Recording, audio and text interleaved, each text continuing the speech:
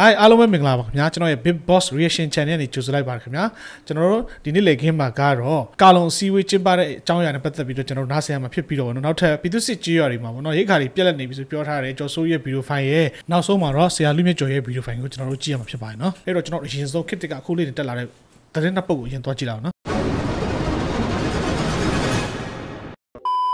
အကျန်းဖက်စစ်ကောင်းဆောင်မဲအောင်လိုင်းကသူ့ကိုယ်သူပြန်ခန့်ထားတယ်ယာယီသမရကာကွယ်ရေးဦးစီးချုပ်နဲ့ဝင်ကြီးချုပ်ဆိုပြီးသုံးမီရယာတုသုံးခုနဲ့ပဲဒီကနေ့ကားလုံးအစည်းအဝေးခေါ်ယူပြီးအရေးပေါ်6လသက်တမ်းတိုးဖို့ရှိနေပြန်တယ်လို့သိရပါတယ်ကဲစီဝေးလုံးနေပြီဇူလိုင်လနော်22ရက်နေ့ကပဲအကျန်းဖက်မဲအောင်လိုင်းကယာယီသမရမြင့်ဆွေဟာလက်ရှိကျမ်းမာရေးအခြေအနေအရစေကူတာမှုခံယူနေရတဲ့အတွက်ဆိုပြီးယာယီသမရယာတုနဲ့တာဝန်တွေကိုသူ့ကိုယ်သူပြန်ခန့်ပြီးလွှဲပြောင်းယူလိုက်ပြီးတဲ့နောက်မှာပဲ ဒီကနေ့ဇွန်လ31ရက်နေ့မှာတော့အဲဒီလိုသူကသူပြန်ခန့်ထားတဲ့ယာယီသမရယာဒုနဲ့ပဲကာလုံးအစည်းအဝေးကိုခေါ်ယူပြီး6လသက်တမ်းတိုးဖို့ရှိနေတယ်လို့သိရပါတယ်အကျံဖတ်စစ်ကောင်စီပြောခွင့်ရဇော်မင်းထွန်းကတော့နော်စီဝေးတော့မပြီးသေးဘူးနော်ဒါပေမဲ့အားလုံးအဖြေသိနေပြီးသားပါနော်အခုလိုအကျံဖတ်မင်းအွန်လိုင်းအနေနဲ့သူ့ကိုယ်သူယာယီသမရပြန်ခန့်တာဟာဥပဒေနဲ့ညီတယ်ဆိုပြီးပြောခဲ့တယ်လို့ကာလုံးအစည်းအဝေးခေါ်တဲ့အချိန်မှာလေမင်းအွန်လိုင်းဟာယာယီသမရအနေနဲ့ပဲဆောင်ရွက်မှာဖြစ်တယ်ဆိုပြီးတော့ပါထုတ်ပေါ်ပြောဆိုခဲ့ပါသေးတယ်ဟွန်း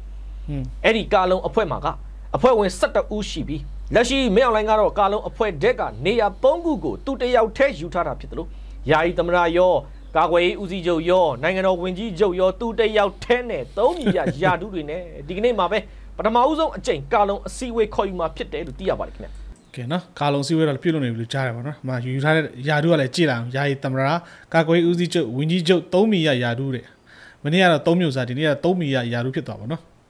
ဟုတ်ပြီနောက်တစ်တဲ့ဘုတ်ထက်ကြည့်လာအောင်နော်။ဘာပူကျန်းဖတ်စစ်ကောင်စီရဲ့သူ့လက်အောက်ခံဝန်ထမ်းတွေကိုလာစာတိုးမြင့်ပေးမှုခရက်ကြောင့်อืมပြည်တွင်းမှာဒေါ်လာဈေးတွေအစမတန်မြင့်တက်လာတဲ့အချိန်မှာပဲ73စီတွေလည်းစတင်ပြက်လက်လာနေပြီရန်ကုန်နဲ့မန္တလေးမှာဒီကနေ့မနက်ပိုင်းက73စီရဖို့ဆိုင်ကနေကားတွေတန်းစီစောင့်ဆိုင်ဝယ်ယူနေရတယ်လို့ဒေသခံပြည်သူတွေကရန်ကုန်ခေတ်တစ်ကိုပြောပါတယ်ဒီကနေ့ဇွန်လ31ရက်နေ့မနက်ပိုင်းမှာပဲ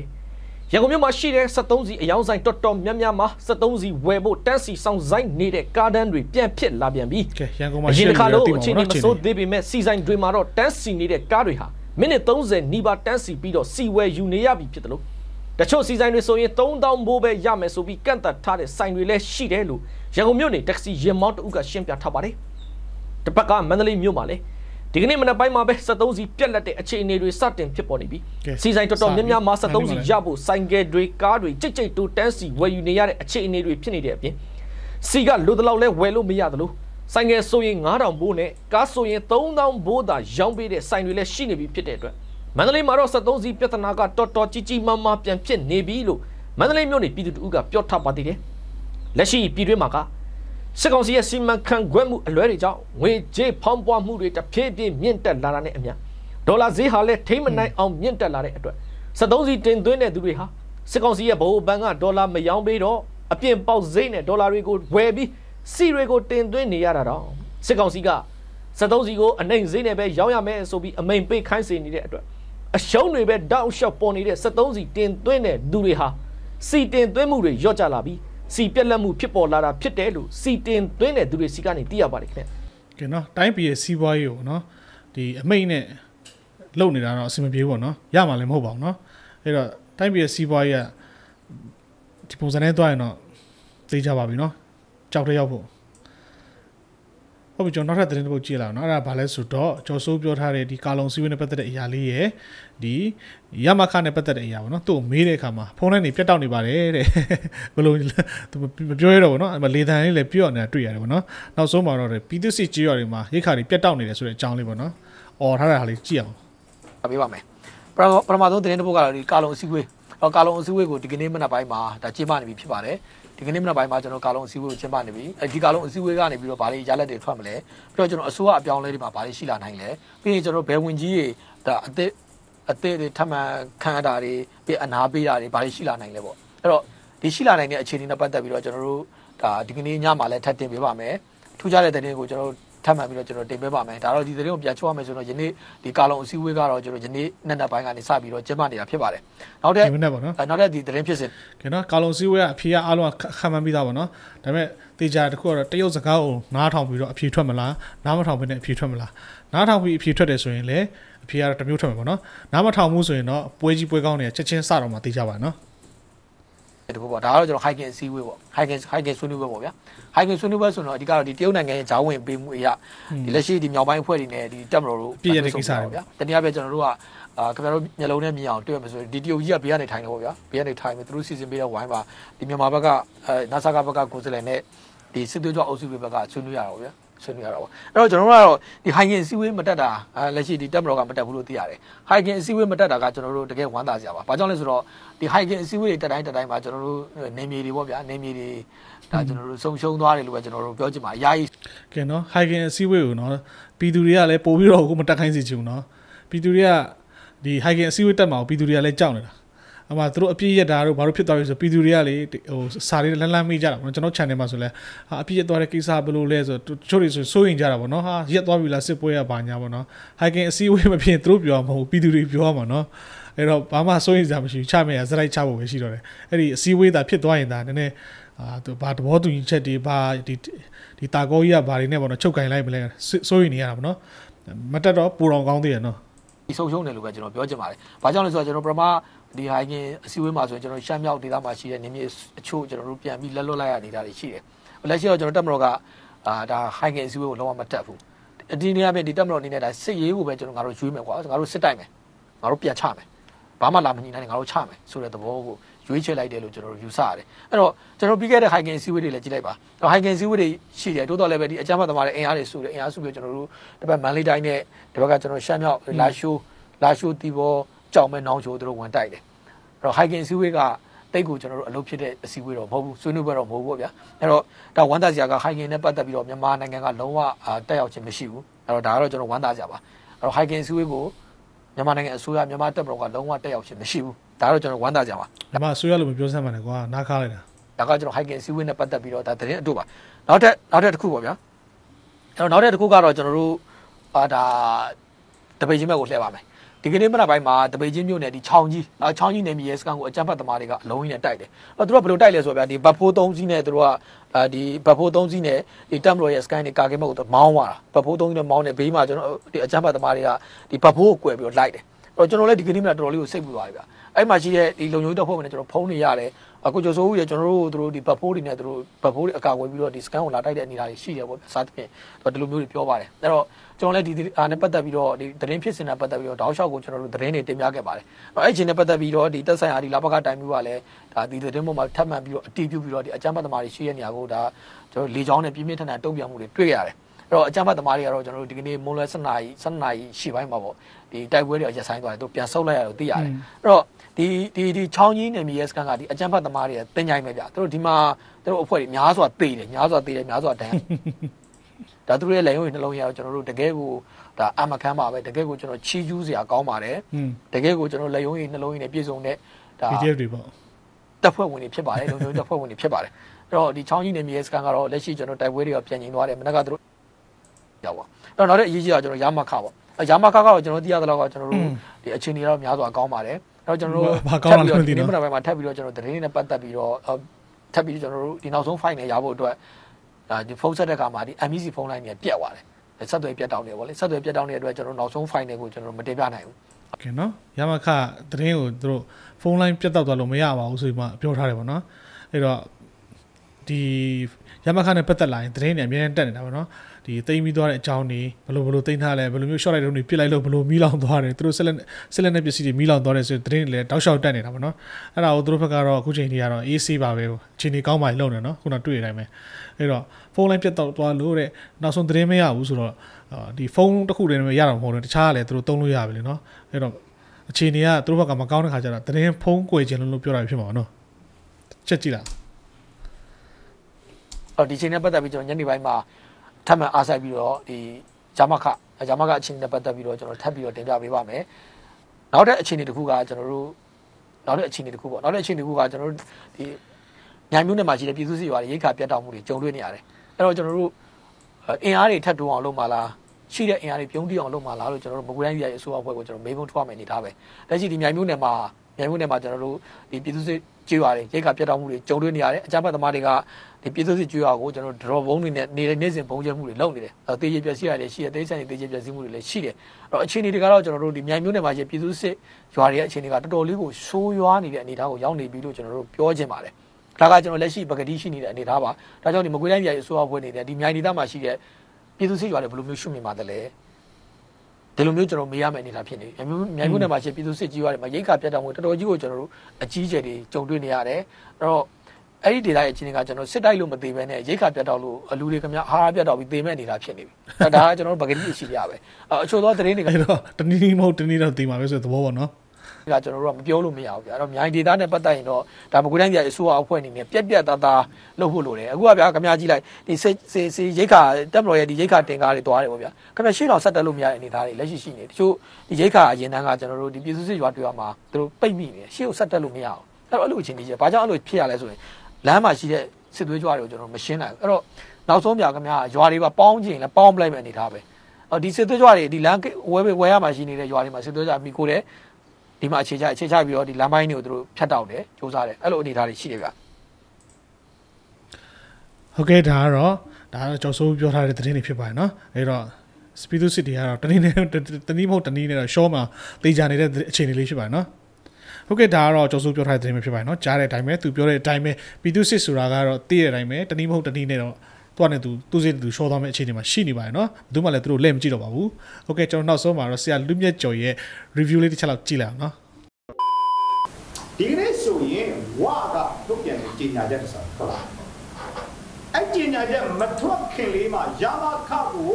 ရှော့လိုက်တော့ဆယ်လုံးနဲ့ယာမခကိုပြချတဲ့ จิตခမှုကြီးဆောင်ရွက်လိုက်နိုင်ပါတယ်ယာမခကိုပြချပြီးမိဖို့တွေမဲလာမှခွေးကြီးပြေးကြတဲ့ဖက်စစ်တက်ကိုဒီကနေ့မန်ဆူဖျားမှာလိုက်မှရှင်းလင်းတဲ့ထပ်ပြီးတော့ AD တိုးဂိတ်ကိုလည်း MNDA ကသိမ့်ပတ်လိုက်ဆိုတော့ MNDA ပဲသိမ့်ပတ်နေတာလားလို့မထင်ပါနဲ့ BBL ဆိုတဲ့ကျွန်တော်တို့ရဲ့ကြပြဆရာစောင်းခရဲ့တက် ဒီကနေ့တန်ချက်ကတက်ရင်ဆက်သွယ်ရေးတက်အမြောက်တက်တွေကိုတိတ်စီလိုက်နိုင်တဲ့တရင်ကောင်းတည်မြတ်တွေနဲ့အတူထုတ်ပြန်လာပါရဒီလိုတွေတိုက်ခိုက်ခံရတဲ့ဖက်စစ်တပ်ဟာခွေးပြေးပြေးလိုက်တာဖက်စစ်တပ်ရဲ့ဟွန်းမြို့နယ်အုပ်ချုပ်ရေးမှုတွေနမ်စီဒီယန်နေနဲ့တကွကျွန်တော်တို့ ပုံမှုကြီးအဆင့်ထိထွက်ပြေးတာဒီနေ့ထပ်မံဖန်ဆီးလိုက်ရဆိုတဲ့သတင်းလေးကျွန်တော် group လေးမှာတော့ကျွန်တော်ထည့်ပေးထားပြီးပါအဲ့တော့ကျွန်တော်ကျွန်တော်တို့စီရေးသတင်းအောင်ဝဲသတင်းတွေအဖြစ်ကိုကျွန်တော်ဟွန်းစီရေးဆိုင်ရာသုံးသက်ချက်တွေကိုပြောကြရအောင်အဲ့တော့ဒီကနေ့မှာဆိုရင်တော်လိုင်းတက်တယ်ပါတော်လိုင်းတက် PDF နဲ့ ERO 80မြင့်နှမျိုးညိုပေါင်း82မျိုးကိုသိမ့်ပတ်ထားနိုင်ဖြစ်ပါတယ်အဲ့ဒီ82မျိုးဟာကျွန်တော်ကျွန်တော်အကျဉ်းလေးယူပြဇူလိုင်က24ရက်နေ့ဒီနောက်ဆုံးသတင်းများအရ AA က16မျိုးဒီစံချိန်တင်အများဆုံးသိမ်းပြီးထားနိုင်ပါတယ် KIA က6မြို့ MNA က6မြို့ TNL က6မြို့ CRF CDF က10မြို့ KNDF က9မြို့ပြန် PDF က9မြို့ CV ချင်းချင်း brother ပေါ့နော်ချင်း brother ဘွဲ့2မြို့အခြား KMPP တို့ကတော့တစ်မြို့အခြားမြို့တွေပေါ့မြို့ပေါင်း82မြို့စကိုင်းတိုင်းမှာပါပြီကျွန်တော်တို့နောက်ဆုံးစစ်တမ်းများရသိရတယ်ဆိုတော့ဒီအခြေအနေမှာဝက်စစ်တပ်ဟာရမခကြီးကြဆုံးတော့မှာကိုတိမြင်နေပြီး ဝါကိုကြောင်းဝင်ဂိုင်းတဲ့အခြေအနေမျိုးကိုဆောင်ရွက်လာတယ်ဝါကလည်းပပလေးဝတ်သားတို့ကိုရောင်းသူရောင်းတာရောင်းမှုနေလားမသိဘူးပါလာမှတော့အထူပါသားလေအခါကြဝါလေဒီနေ့ထုတ်ပြန်ကြေညာချက်ထဲမှာဒီလူလူလူငြိမ်းချမ်းစေခြင်းဟာကျွန်တော်တို့အဲဂျောင်းဝင်စေတဲ့အမိနိုင်ဘာညာတရကနေကြပွားစီတောင်ကြီးပဲတော်